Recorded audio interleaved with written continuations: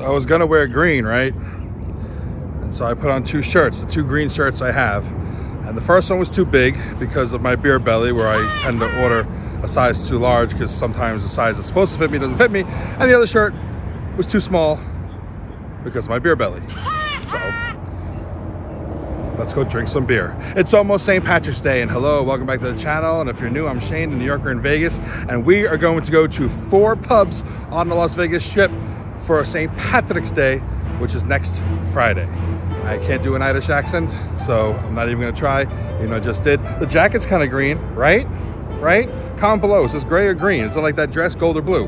And while you're commenting on my fancy threads, we are on mission monetize. That means that I am about 600 subscribers away from being able to monetize the channel, and that needs to happen by mid-May. So please subscribe if you haven't already, like the video, like I said, comment, share, hit the bell icon, all those good things. Now let's get to the drinking, and we'll start here at the Mandalay Bay. I hope that's framed right. Let's get our drink on.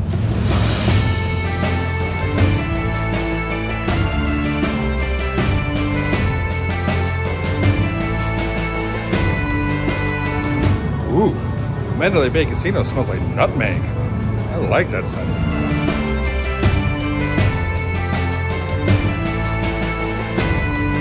Rí Rá Pub is located in the shops on Mandalay Place, and the highest compliment I can pay to it is that Rí Rá feels authentic. We have no shortage of real Irish pubs back east in New York City, and once you step into the broken up but long bar, you forget you're in a mini Las Vegas mall steps away from a massive casino. The bartender was friendly, servers interactive, and I had myself a good old Guinness. Yum.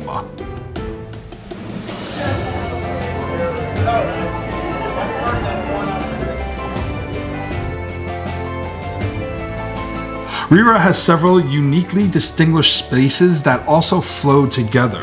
From a stage to what I'm calling the anteroom, to a backroom event space with its own bar. And of course, since just one Guinness feels like a full ass meal, before I moved on to the next spot, I had to make this long trek down this long hallway so I could evacuate the dance floor. Whew, four Guinnesses in one day is gonna be a lot, but this is really nice bathroom. Perfect place for me to pee it out, reset, and on to the next spot. Love these.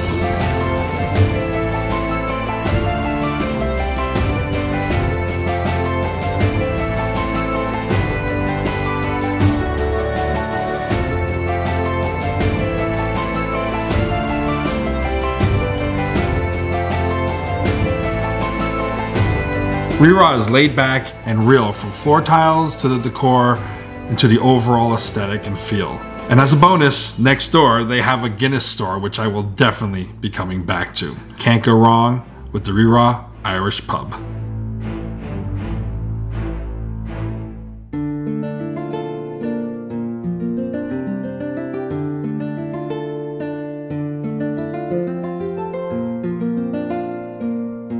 Next up was the very well known Nine Fine Irishmen inside the casino as well as outside along Las Vegas Boulevard at the New York, New York Hotel and Casino. I feel like the layout of Nine Fine Irishmen is odd. The stage is in a weird spot, and while the pub is tall, it's squished, if that makes any sense. Earlier in the day, Nine Fine Irishmen is more of a restaurant, while later at night, this place gets jumping, bumping, and full of life. Love this hard liquor tap setup too. So here at Nine Fine Irishmen, I was like, I'm gonna try a different kind of Guinness. So I ordered a Guinness Blonde, and it sucked.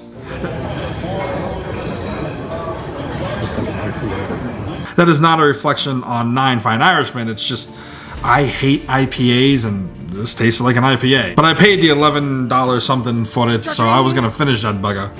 Oh, is bugger only an English term? Lad, lad! I was gonna finish that lad. I'm gonna get canceled. Anyway, it was time for me to make more room within myself, so I went to the bathrooms, which, you know, they're nowhere near as nice as those at Rí Rá, but at least they're inside the pub, unlike most restaurants and bars in the casino. Oh, speaking of getting canceled.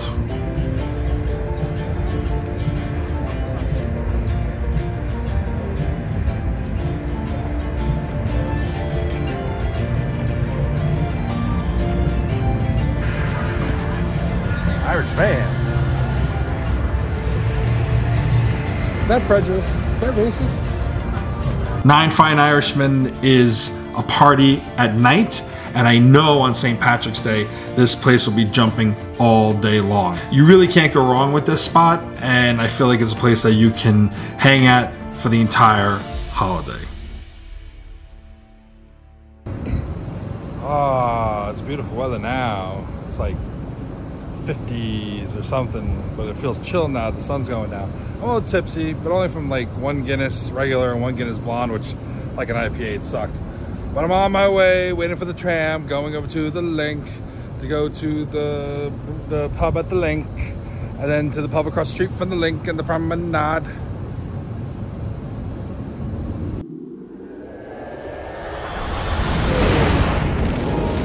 The tram is now departing. all by myself. I always seem to be all by myself. If you like Tipsy Sheyne, you're gonna love Drunk Sheyne. So I'm gonna go back to the whole thing about mission monetize. Get me to a thousand subs. And when I hit 500, I'm gonna do a live, my first live where I'm drunk. So if you think that's funny and you want to see me be more of an ass, shushing, to helped get me to 500 to start. Oh, by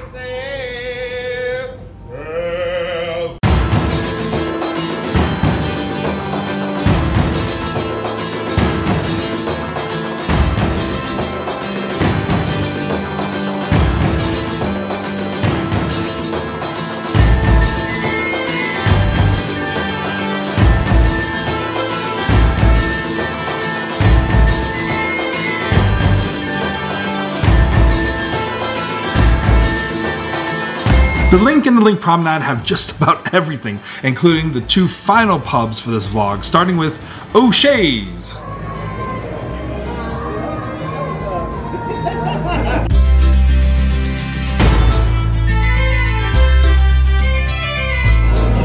Thirty-five-year-old Sheyne love these tables: beer pong, chandelier, boat races, softball. So I'm not gonna get a drink or food here at O'Shea's at the Linq. Not because it's not cool. I mean, if you like gambling, drinking games, drinking, loud music, energy, this is the place to go for St. Patrick's Day. However, I'm going to go over to the next spot. There's not a lot of space at the bar right now, but this looks like a really good time, especially coming to in a group. The Linq is known for being a very party-focused hotel and casino atmosphere. This this would be a good spot